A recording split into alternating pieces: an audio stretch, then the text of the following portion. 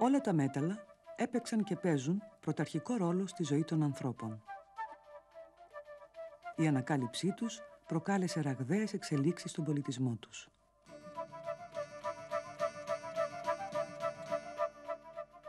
Στην αρχαία Ελλάδα, όπως και αλλού, υπήρξαν δύο μέταλλα που ήσαν ακατάλληλα για εργαλεία, αλλά πολύ ποθητά από τους ανθρώπους.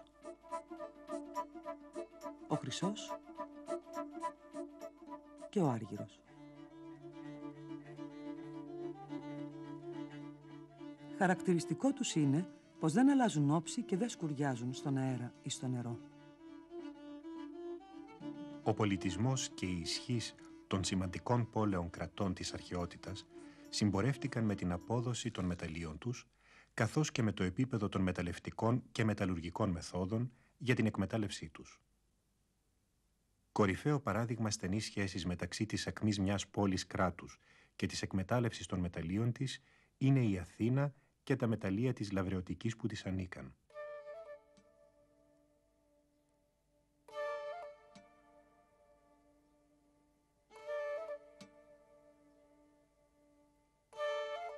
Λαβριωτική είναι η ημιορεινή και βραχώδης περιοχή που εκτείνεται από το ακροτήριο του Σουνίου μέχρι τον όρμο Κακή Θάλασσα στο νότιο Ευωικό και μέχρι τον κόλπο της Αναβίσου στο νότιο Σαρονικό, περιλαμβάνοντας ακόμη τη Μακρόνησο και το νησί του Πατρόκλου.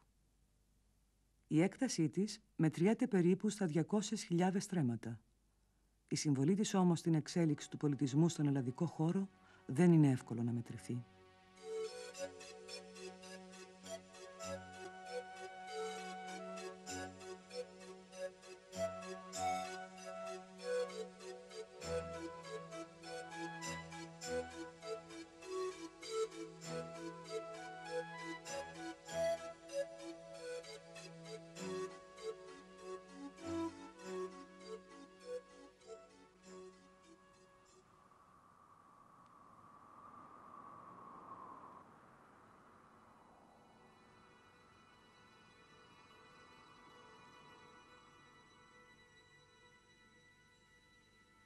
Στο υπέδαφος της Λευρωτικής ανακαλύφθηκαν πλούσια κοιτάσματα μεταλλευμάτων γύρω στο 3000 π.Χ., δηλαδή κατά τους πρώτους αιώνες της εποχής των μετάλλων στον ελλαδικό χώρο.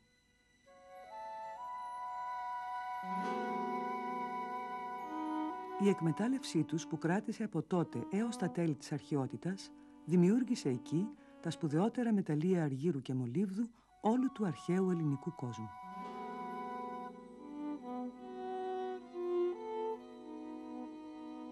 Στο λαβρεωτικό Άργυρο στηρίχτηκε η οικονομική δύναμη της Αθήνας. Τον Άργυρο της Λαβρεωτικής τον έχουμε όλοι μας δει, είτε ζωντανό, είτε σε φωτογραφίες, στα περίφημα τετράδραχμα της αρχαίας Αθήνας, με την Αθηνά στη μια όψη και τη Γλάφκα στην άλλη. Εκείνο που ασφαλώς δεν έχουμε δει και ίσως ούτε φανταστεί είναι τι προσπάθεια χρειάστηκε για να βγάλουν αυτό το μετάλλευμα, τον Αργυρίτη, μέσα από τα σπλάχνα της λαβριωτικής γης. Η ιστορία του Λαβρίου είναι γι' αυτό πολλαπλά ενδιαφέρουσα.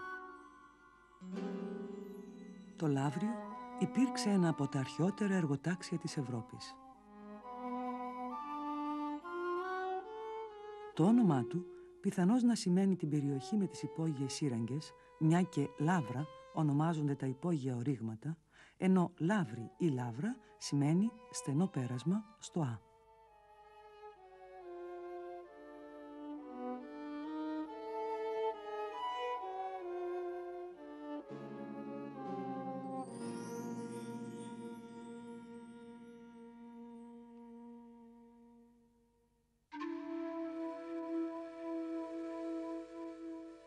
Στα έγκατα της λαβριωτικής γης υπάρχουν μεταλλεύματα τόσων πολλών ειδών, ώστε να την κατατάσσουν ως προς την ποικιλία τουλάχιστον στις σημαντικότερες μεταλλοφόρες περιοχές της Ιφιλίου. Το υπέδαφος της αποτελεί ένα αληθινό ορυκτοχημικό μουσείο από τα πιο σπάνια. Μέχρι στιγμής έχουν εξακριβωθεί 220 είδη ορυκτών. Θαυμάσια δείγματα, εκπληκτικά σε σχήμα και ομορφιά, μπορούμε να δούμε στο Ορυκτολογικό Μουσείο του Λαβρίου. Αραγωνίτης Ασβεστήτης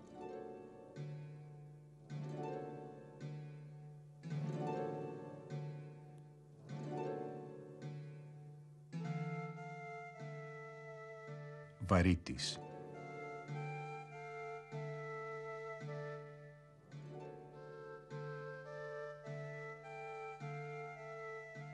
Χαλαζίας. Γύψος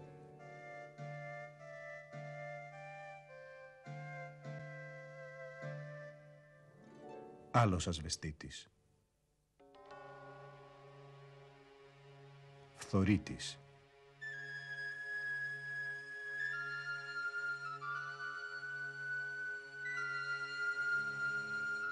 και πάλι αραγωνίτης σε άλλη μορφή.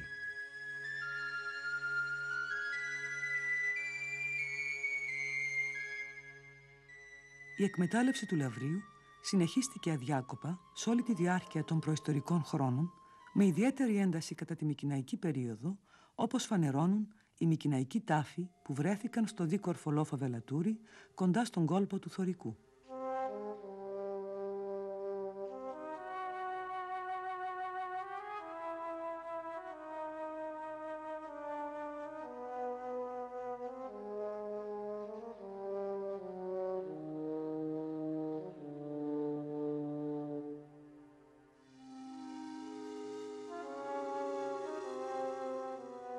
Κατά τους ιστορικούς χρόνους συνεχίζεται η παραγωγή αργύρου η οποία εντείνεται τον 6ο π.Χ. αιώνα. Τότε διαδίδεται η χρήση του νομίσματος ως κύριο μέσο στις οικονομικές συναλλαγές. Και ο άργυρος της Λαβριωτικής δίνει στην Αθήνα τη δυνατότητα να αποκτήσει θησαυροφυλάκιο και να εκδώσει δικό της νόμισμα. Τον 5ο π.Χ. αιώνα, τα ορυχεία ανήκαν ήδη στο Αθηναϊκό κράτος που τα νίκιαζε σε ιδιώτες επιχειρηματίες, συμμετέχοντας όμως τα κέρδη τους. Ο Θεμιστοκλής πείθει τους Αθηναίους να διαθέσουν τα έσοδα από την εκμετάλλευση του λαβρεωτικού αργύρου και έτσι να φυγεί το στόλο που νίκησε τους Πέρσες στη Σαλαμίνα το 480 π.Χ.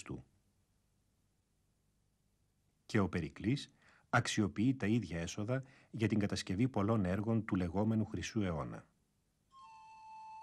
το επίτευγμα της Αθηναϊκής Δημοκρατίας στη Λαβριωτική αποκαλύπτει μια ακόμη πτυχή του πολύπλευρα κλασικού θαύματος που ακτινοβολεί όσο οποιαδήποτε άλλη. Ο πρώτος στόχος των αρχαίων μεταλλευτών ήταν ανέκαθεν ο Άργυρος λόγω της μεγάλης του αξίας. Οι Αθηναίοι μάλιστα, αν και έβγαζαν από το λαύριο και άλλα μέταλλα, ιδίως μόλιβδο, ονόμαζαν τα μεταλλεία του λαυρίου αργυρία και το μετάλλευμα αργυρίτιδα. Εκτός από σπάνιες περιπτώσεις, ο άργυρος δεν βρίσκεται αυτοφυής, αλλά περιέχεται μέσα στον αργυρούχο μόλιβδο. Έτσι, οι μεταλλευτές αναζητούσαν μεθοδικά τα μεταλλεύματα που τον περιείχαν. Από αυτά, τα σπουδαιότερα είναι ο Γαλινίτης και ο Κερουσίτης.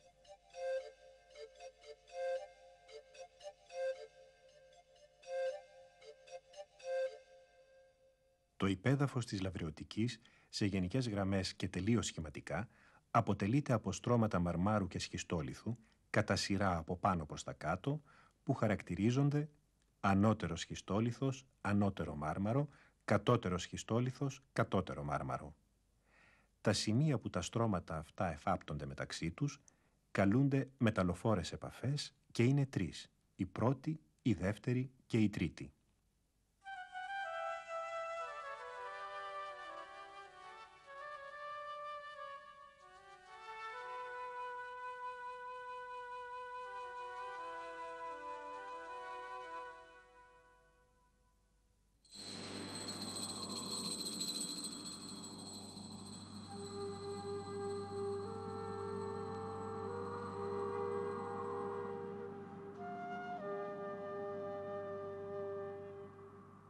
Η μεταλλοφορία του λαβρίου, σύμφωνα με τη γνώμη των περισσότερων ειδικών, είναι υδροθερμική. Κατά την τεταρτογενή περίοδο, ζεστά μεταλλοφόρα διαλύματα άρχισαν να ανεβαίνουν προς τα πάνω, περνώντας μέσα από φυσικές σχισμές του εδάφους ή διαρριγνύοντάς το. Έτσι πέρασαν πρώτα το κατώτερο μάρμαρο και σχιστόλιθο και μετά το ανώτερο μάρμαρο και σχιστόλιθο. Ο σχιστόλιθος λειτουργήσε σαν εμπόδιο σε αυτή τη διέλευση και έτσι στην επαφή σχιστόλιθου μαρμάρου και μέσα στο μάρμαρο σχηματίστηκαν κοιλότητες που γέμισαν μεταλλεύματα. Τα κοιτάσματα του μεταλλεύματος βρίσκονται κατά μήκος των τριών επαφών και δεν σχηματίζουν εκτεταμένα στρώματα, αλλά μόνο θύλακες διαφόρων μεγεθών. Τα κοιτάσματα της πρώτης επαφής είναι αξιόλογα, της δεύτερης σχετικά πολύ λίγα, ενώ της τρίτης που είναι και η πιο βαθιά, πολύ περισσότερα και πλούσια σε περιεκτικότητα αργυρούχου μολύβδου.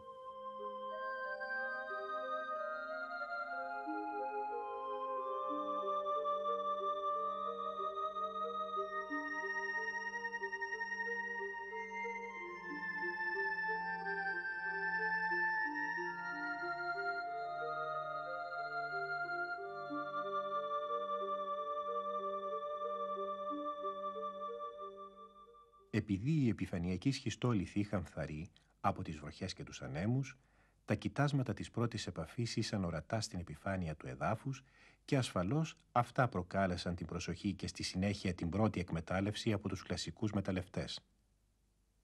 Στις αρχές όμως του 5ου π.Χ. αιώνα ανακαλύφθηκε η τρίτη επαφή, η οποία επέτρεψε την πλήρη κατανόηση του κοιτασμολογικού κανόνα και άλλαξε τη μέθοδο και το μέγεθος των έργων.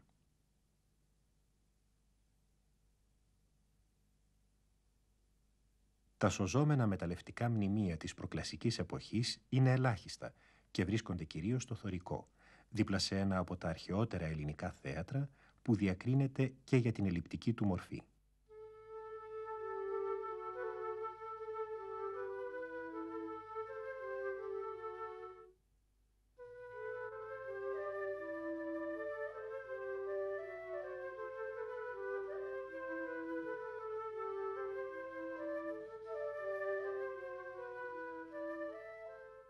Η παραγωγή άρχιζε με την ανέβρεση του μεταλλεύματος. Όταν επισήμεναν την επαφή σε μια πλαγιά, άνοιγαν μια ερευνητική στοά μικρής διατομής που προχωρούσε περίπου οριζόντια σε βάθος, παρακολουθώντας τη γραμμή διαχωρισμού μαρμάρου και σχιστόλιθου.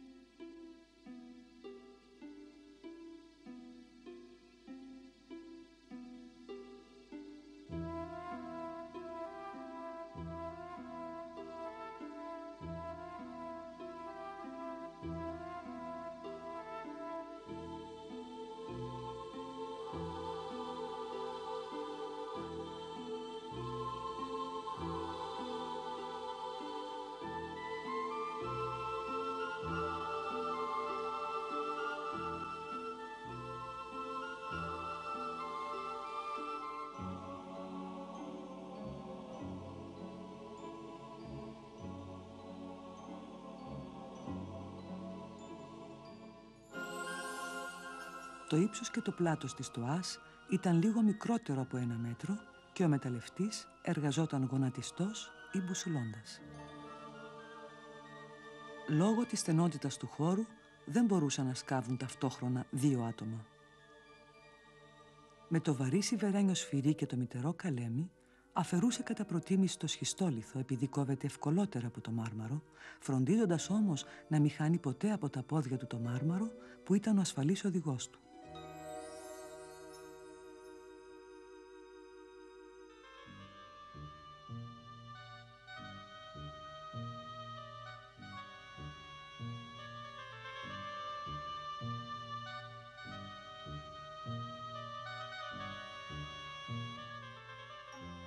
Με συνεχή εργασία επί 24 ώρες βάσης, εναλλασσόμενων εργατών, επειδή τα πετρώματα ήσαν σκληρότατα και ο χώρος περιορισμένος, μπορούσαν να προχωρήσουν σε βάθος μόλις 8 μέτρα περίπου το μήνα. Έφταναν έτσι σε βάθος δεκάδων μέτρων.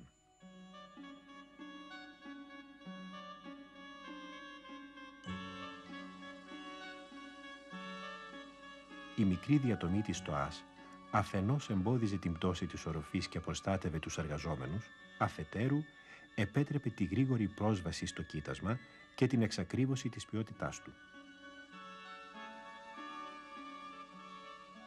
Για τον εντοπισμό και την προσπέλαση των κοιτασμάτων της τρίτης επαφής, η μέθοδος ήταν διαφορετική λόγω του μεγάλου βάθους.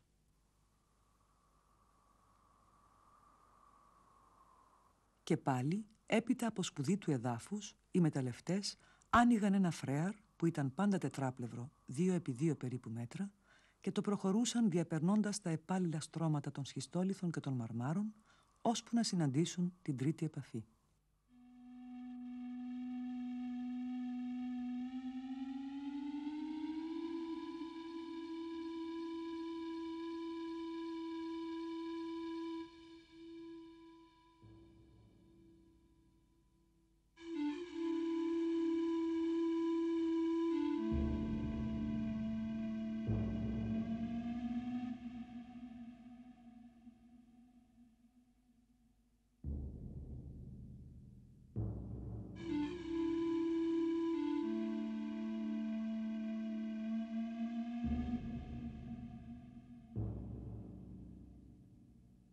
Μόλις την έβρισκαν, άνοιγαν από τον πυθμένα του φρέατος προς διάφορες κατευθύνσεις μικρές οριζόντιες ερευνητικές στοές για να εντοπίσουν το κοίτασμα. Όταν οι στοές αποκτούσαν μεγάλο μήκος, η εργασία μέσα σε αυτές γινόταν δύσκολη και αδύνατη. Οι μεταλλευτές, για να λύσουν το πρόβλημα εξαίρισμου, άνοιγαν άλλα τετράπλευρα φρέατα που από την επιφάνεια του εδάφους κατέβαιναν μέχρι τη στοά. Αυτά τα φρέατα οι αρχαίοι τα ονόμαζαν ψυχαγώγια. Τα φρέατα ξεκινούσαν σαν ερευνητικά, αλλά σε περίπτωση επιτυχίας χρησιμεύαν ταυτόχρονα και για την εξαγωγή του ορισόμενου μεταλλεύματος και για τον αερισμό των στόων. Συχνά επίσης άναβαν φωτιά στον πυθμένα του φρέατος και η διαφορά θερμοκρασίας από το ύπεθρο προκαλούσε την κίνηση ρεύματος αέρα όπως συμβαίνει και με τα τζάκια. Τα περισσότερα φρέατα είναι κάθετα Υπάρχουν όμως μερικά με πορεία τεφλασμένη και άλλα με τμήματα επικλινή και μελαξευμένες στο πέτρο μασκάλες για την εύκολη διακίνηση.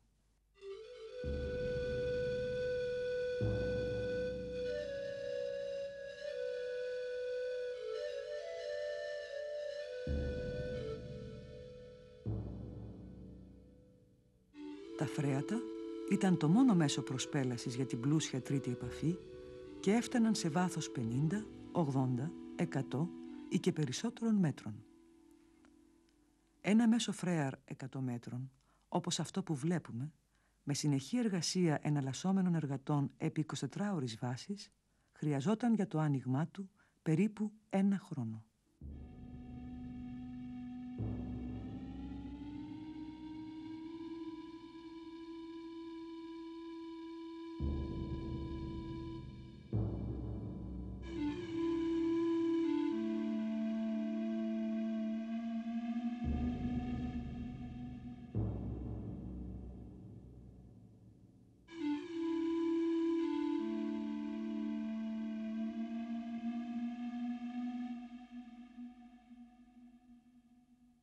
Οι μεταλλευτές αφαιρούσαν πάντα και την παραμικρότερη ποσότητα αργυρίτιδας και έτσι όταν τα κοιτάσματα ήταν μεγάλα, η εκμετάλλευση δημιουργούσε ανάλογα μεγάλα κιλώματα, πραγματικές υπόγειες αίθουσες, επομένως και κινδύνους κατάρρευσης της οροφής. Για την αντιμετώπιση τους και επειδή η μεταφορά ξυλίας για υποστηλώσεις μέσα στις στοές δεν ήταν εύκολη, άφηναν κατά διαστήματα απείραχτα τμήματα μεταλλεύματος σαν μεγάλες κολόνες, που χρησιμεύαν ως φυσικά υποστηρίγματα της οροφής. Αν το μετάλλευμα ήταν πλούσιο, τότε εκμεταλλεύονταν και αυτά τα υποστηλώματα, αφού προηγουμένως τα αντικαθιστούσαν χτίζοντας στηρίγματα από ξερολιθιά. Είναι αξιοσημείωτο ότι όλες σχεδόν οι στοές διατηρούνται ως σήμερα ακέραιες και σπάνια παρουσιάζουν κατάπτωση οροφής. Η φροντίδα για την ασφάλειά τους φαίνεται και από τον νόμο του 338 π.Χ που τιμωρούσε με θάνατο όποιον κατέστρεφε τις κολόνες υποστήριξης των στόων. Γιατί, κάτι τέτοιο, εκτός από την κατάρρευση, θα είχε σαν αποτέλεσμα και τη διακοπή των εργασιών. Η κάθε στοά, ανάλογα με το κοίτασμα, αποκτούσε τελικά μήκος εκατοντάδων μέτρων και έτσι με τα χρόνια απλώθηκε στα έγκατα της λαβριωτικής ένας λαβύρινθος υπόγειων στοών. Καμιά φορά, Για να μην πελαγοδρομούν οι μεταλλευτές, χρησιμοποιούσαν σχεδιάσματα σαν αυτό που έχει χαραχτεί δίπλα στο στόμιο μιας στοάς θωρικού.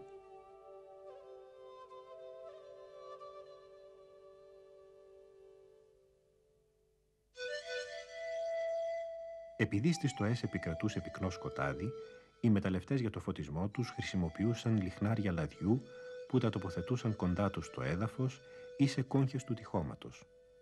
Έπαιρναν μαζί τους και λάδι για να αυξάνουν τη διάρκεια φωτισμού, μια και ένα τέτοιο λιχνάρι δίνει φως μόνο για 8 έως 10 ώρες, καταναλώνοντας οξυγόνο όσο περίπου και ένας εργάτης. Επειδή το μετάλλευμα ήταν σχετικά πιο μαλακό από τα πετρώματα, για την εξόρυξή του χρησιμοποιούσαν κασμά ή τσάπα. Το έκοβαν σε κομμάτια μετρίου μεγέθους και στη συνέχεια το παραλάβαιναν οι ονομαζόμενοι θυλακοφόροι, που ήσαν συνήθως παιδιά, και με σάκους ή κοφίνια, όπως μπορούμε να δούμε και σε παραστάσεις αρχαίων αγγείων, το μετέφεραν στην πλάτη τους μέχρι τον πυθμένα του φρέατος.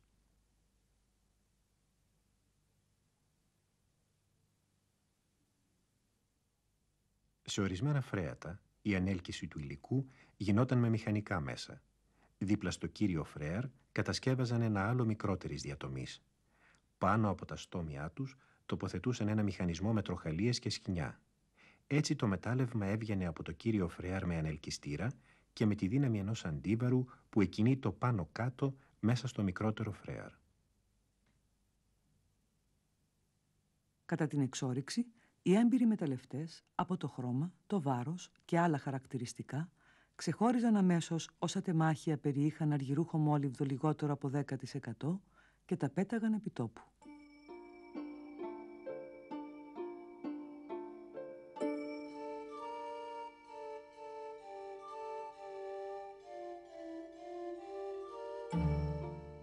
Στο ύπεθρο, οι μεταλλευτές έκαναν μια προσεκτικότερη χειροδιαλογή με αποτέλεσμα να συσσωρεύεται φτωχό μετάλλευμα και κοντά στα στόμια, στόν και φρεάτων.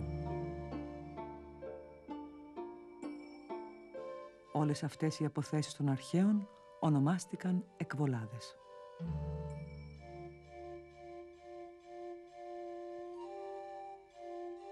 Όταν οι μεταλλευτές έβρισκαν γαλινίτη, δηλαδή αργυρούχο μόλιβδο σχεδόν καθαρό, τον έστερναν για τήξη χωρίς μεγάλη επεξεργασία, αλλά αυτό δεν ήταν συνηθισμένο. Κατά κανόνα το μετάλλευμα κομμένο σε μετρίου μεγέθους κομμάτια έφτανε στην επιφάνεια του εδάφους και μεταφερόταν στα εργαστήρια για την περαιτέρω επεξεργασία του. Η μεταφορά γινόταν με κάρα που τα έσερναν άλογα. Η μοναδική ενέργεια που χρησιμοποίησαν οι αρχαίοι στα μεταλλεία ήταν η μυϊκή ενέργεια των ανθρώπων ή των ζώων. Η επεξεργασία στα εργαστήρια άρχιζε με το σπάσιμο του μεταλλεύματος σε μικρότερα κομμάτια.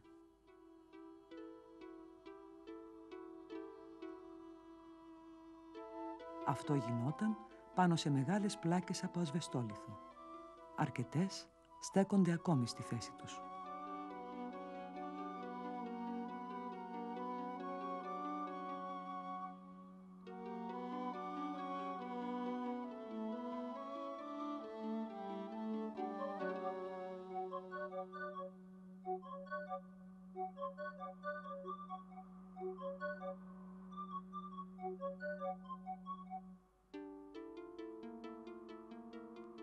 Στο ασκληπιακό του 4ου π.Χ. αιώνα, που είναι μεταλλείο της δεύτερης επαφής, μπορούμε να δούμε μεγάλο μέρος από εργαστήριο θράψης.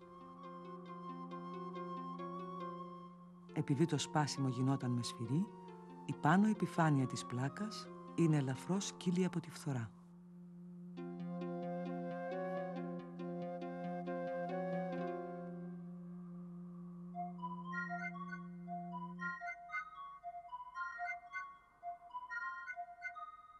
Μετά το σπάσιμο γινόταν άλλη μια χειροδιαλογή και οι νέες αχαλοί και εκβολάδες απορρίπτονταν σε σωρό έξω από το εργαστήριο.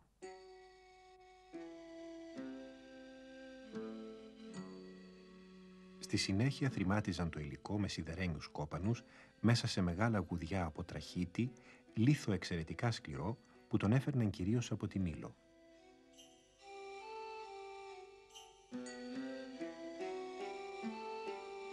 Ένα τέτοιο κουδί ανασύρθηκε από τη θάλασσα και βρίσκεται στο Αρχαιολογικό Μουσείο του Λαβρίου.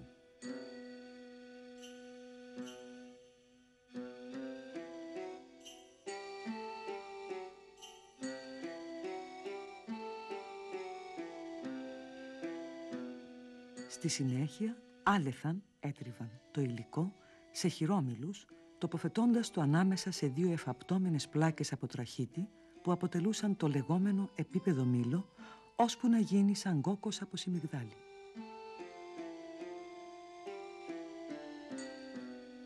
Η κατάτριψη γινόταν με παλινδρομικές κινήσεις και με τη βοήθεια ενός ραβδιού που το προσάρμοζαν στο κινητό μέρος του μήλου. Στην περιοχή της Αγίας Τριάδας βρέθηκε τμήμα από το κινητό μέρος του επίπεδου μήλου.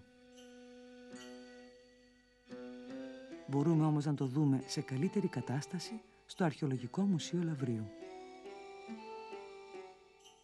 Στο ίδιο μουσείο μπορούμε να δούμε και έναν κονικό μήλο κατάτριψης. Αποτελείται από έναν πλήρη κόνο σταθερό και έναν κύλο κόνο κινητό. Ο κύλος κόνος μπορούσε να περιστρέφεται γύρω από το σταθερό χωρίς να τρίβεται πάνω σε αυτόν, χάρη σε έναν άξονα ο οποίος στηριζόταν στην οπή του σταθερού κόνου. Οι εργάτες έστρεφαν τον κύλο κινητό κόνο με ξύλινο ραβδί που το προσάρμοζαν οριζόντια.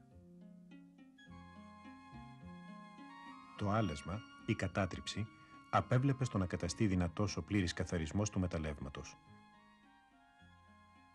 Όμως τη διαδικασία του καθαρισμού θα τη δούμε στο δεύτερο μέρος.